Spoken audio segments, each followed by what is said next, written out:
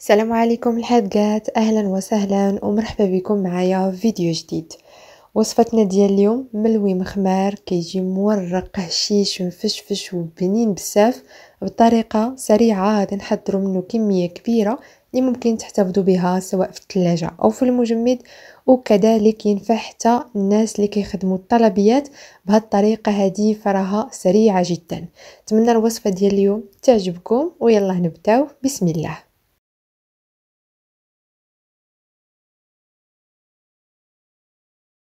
بالنسبة للعجينه ديال المخمر في الاناء عندي هنايا 500 غرام ديال الفينو مع 500 غرام ديال الدقيق الأبيض.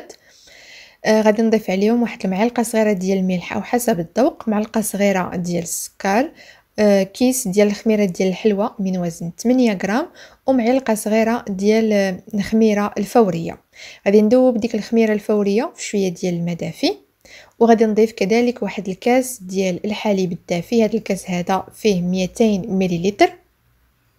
وطبعا ممكن في بلاصة الحليب كتعوضوه بواحد المعلقة أو جوج معالق كبار ديال الحليب بودرة أو كديروا كاس ديال اللبن أو كديروا علبة ديال الياغورت. المهم اللي كان متوفر عندكم باش كيجيكم مخمر ديالكم مفشفش ورطب صافي غادي نبدأ. كنجمع العجينة ديالي كنضيفوا الماء شوية بشوية حتى كتجمع لنا مزيان. إما كتعجنوها كبيديكم أو كت يعني تحضروها في العجانة الكهربائية أنا حيت كنت يعني حضرتها هكايا شوية بكري فما بغيتش نستعمل العجانة حيت كانوا مازالين ناعسين آه صافي بديت هكا كنضيف الماء تدريجيا شوية بشوية كندلكوها مزيان تقريبا واحد العشرة ديال الدقائق ونعطيوها حقها الكافي ديال الماء يعني حيت كيف عارفين يعني الفينو فراه كيشرب السوائل. صافي تيكون هذا هو القوام ديال العجينة ديالنا كتكون مدلوكة مزيان ورطبة. يعني تتكون بهذا الشكل هذا. غادي ندهن العجين ديالي غير بشوية ديال الزيت وغادي نقسمها على أربعة ديال الكويرات يكونوا متساويين وغادي نغطي العجين ديالي بلاستيكا نخليها جانبا كترتاح تقريبا ديك 20 حتى 30 دقيقة باش عاد ديك الساعة غادي ندوزو باش نكملو التشكيل ديالها.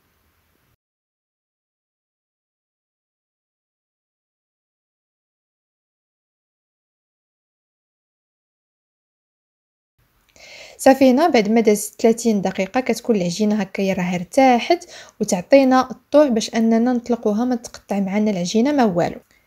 بالنسبة للتوريق كنت دوبت تقريبا واحد 100 غرام ديال الزبدة كندوبوها وكنحيدو من هذاك الحليب اللي تيكون فيها مع تقريبا ديك 100 مليلتر ديال الزيت أو 120 هكا ياك. وكذلك غادي نحتاجو الكمية ديال الفينو. كندهن سطح العمل بالخليط ديال الزيت والزبدة. وكنبدا كنطلق مزيان يعني حتى آه، كيبان لينا هكايا سطح العمل من من العجينة. يعني ضروري نطلقوها مزيان باش ما يجيناش المخمر ديالنا معجن من الداخل. صافي غادي نكتفي بهذا القدر هذا من التمديد. وحنا كنطلقو طبعا وحنايا كندهنو بالخليط ديال الزيت والزبدة. رشيت هنايا شوية ديال الفينو. وغادي نطوي يعني بحال الشكل اللي غادي نطوي واحد المسمنة غير هو ما غاديش نكملوا لها الطوي ديالها.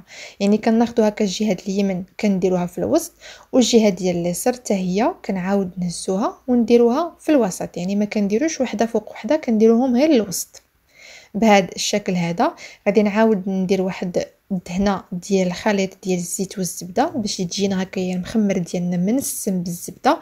وإلا لقيتو تقدروا ديروا غير شو معاه شوية ديال السمن إلا ما كانش عندكم حار كديروه. كان حار فبلاش. صافي عاود ترشيت شوية ديال الفينو وغادي نبدأ هكا كنلوي العجين ديالي بهذا الشكل هذا. فبهذه الطريقة هذه آه تيجي مورق وتيعطيكم كمية كبيرة يعني في واحد الوقت قياسي كتحضروا كمية كبيرة. صافي بديت كنلوي بهذا الشكل هذا. حتى يعني كنحصلوا على واحد البوده بهذا الشكل. وغادي نقسم هنايا العجين ديالي إلى نصفين وكل نصف غادي نقسمو على جوج. يعني كل آه، عجينة غادي تعطيني ربعة ديال المخمرات. طبعا بغيتو تصغروهم على هكا فتقدروا تقسموهم على خمسة على ستة. يعني إلا بغيتو واحد لي ميني مخمرات يكونوا صغيورين فكتقسموا آه، يعني آه، يعني أكثر من هكا اللي قسمت أنا. كنعاود نحل هكايا غير العجين ديالي شي شوية ودوك الأطراف د العجين كنجمعهم في الجناب. صافي وغادي نديرهم هكايا جانبا في الاناء وغادي نبقى مستمرة بنفس الطريقة بالنسبة لباقي العجين صافي بعد ما كملت هنايا التشكيل ديال العجين ديالي كاملة غادي نبدأو بأول وحدة شكلناها حيت غادي تكون آه ارتاحت لنا وتلقات وتعطينا الطوع باش أننا نطلقوها. بالنسبة هنايا مخمرات غادي نكرسهم هكايا بشوية ديال الفينو. يعني ما تكتروش بزاف غير شوية وصافي. كنبدا هكا كنرشو إلى الجهتين وكنقرصوا المخمرات ديالنا. ما ترققوهمش بزاف وعاوتاني ما يبقاوش غلاط بحكم راه فيهم الخميرة. غادي نكتفي بهذا القدر هذا وغادي نبقى مستمرة تنقرص المخمرات ديالي حتى نكمل الكمية ديالي كاملة. صافي هنا بعد ما قرصتهم غادي نخليهم تقريبا واحد العشرة ديال الدقائق هكا حتى يرتاحوا ونبداو بأول وحدة قرصناها باش هكا وحنا كنطيبوا وهما راهم كيكملوا الاختمار ديالهم. صافي بعد ما دازت تقريبا ديك عشرة ديال الدقائق عشرة خمسطاش دقيقة بالأكثر يعني ما, ما نزيدوش نخليوهم يرتاحوا أو يخمروا بزاف. سخنت هنايا المقله آه هذه ديال الضوء أو كديروا المقله ثقيله كتسخنوها مزيان. وصافي غادي ندير القياس ديال المخمرات ديالي. هنايا درت هزات ليا هكايا ثلاثة كنبدا كنخليهم تقريبا ديك آه، دقيقة هكاك في الجهة الأولى ونقلبهم للجهة الثانية. بغيتو دهنوا هكايا المقلة ديالكم بشوية ديال الزيت. دهنوها. أنا ما احتاجيتش حيت راه يعني المخمر راني مورقاه بالزيت والزبدة. يعني ما كاين لاش نكثروا الزيوتات بزاف. صافي غادي نبدا كنقلب المخمر ديالي إلى الجهتين يعني حتى كيطيب لينا وكيتحمر لينا من جوج ديال شوية ونبقى مستمرة يعني في الطياب حتى نكمل الكمية ديالي كاملة. صافي هنا بعد ما كملت الطياب ديال المخمر ديالي كنستفو هكايا في الطبق ديال التقديم. أه بالنسبة لطريقة الاحتفاظ به إما كطيبوه مثلا نص طيبة وكتحتفظوا بالكمية اللي بغيتو في المجمد ومنين تبغيوهم تخرجوهم وت يعني تكملوا لهم الطياب وتقدموهم أو تقدروا طيبوهم تماما. يعني كيف ما درت أنا من تبغيهم أنا كنسخنهم غير في الفران باش ما تيزيدوش يتحمروا أو يطيبوا أكثر المهم أنا طيبت كلشي دقة واحدة باش بلا ما نبقى عاد كل مرة كنطيب. منين نبغيهم نجبد هي القياس اللي نحتاج كنسخنو في الفران وكنقدمو فراه تيجي بحال إلا عاد يعني طيبته وهذه كتكون هي الوصفة ديالنا ديال اليوم. ملوي مخمار توجديه خف زربة لقهوة العشية أو مع شي كويس ديال اتاي تيجي يا سلام. كي شفتوا معايا الطريقة فراها سهلة سريعة جدا. تخرجوا منها كمية كبيرة.